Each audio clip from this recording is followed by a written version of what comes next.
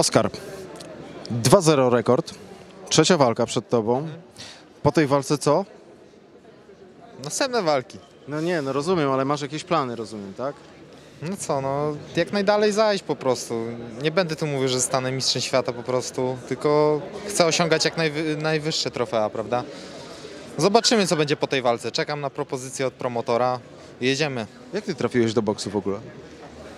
No, pływałem sobie kiedyś.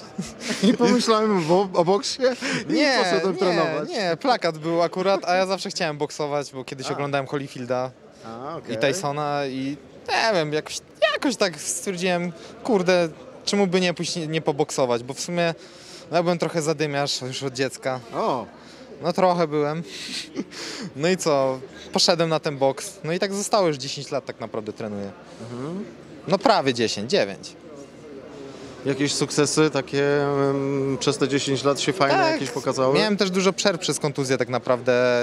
Nie miałem możliwości pojechać na jakieś takie mło- młodzieżowe Mistrzostwa Polski na przykład, bo akurat miałem biceps zerwany. Ale za juniora dwa razy zdobyłem brąz. No nieuczciwie, w sensie, że ja uczciwie zdobyłem medal, no ale co ja będę tam mówił? Przyszedłem na boks zawodowy. No i chyba myślę, że to najlepszy krok był. Mhm. Bo Lepiej jest na zawodowstwie?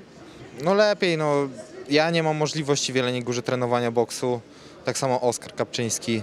Musieliśmy coś znaleźć, jakąś alternatywę. Ja znalazłem w Świdnicy, zabrałem ze sobą Oskara i tak naprawdę tworzymy super zespół. Mhm. Czyli trzymacie się razem po prostu i... Tak, my jesteśmy kumplami już od dobrych paru lat, także my trenowaliśmy wcześniej w Jeleniej Górze razem, my się znamy długo. On jest jak młodszy brat, tak naprawdę dla mnie Oskar, więc Co jutro zobaczymy w ringu? Dobrą walkę.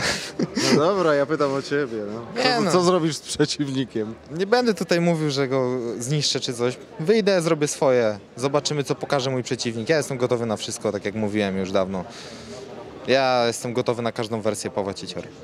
Przygotowana głowa też? Tak, luzik.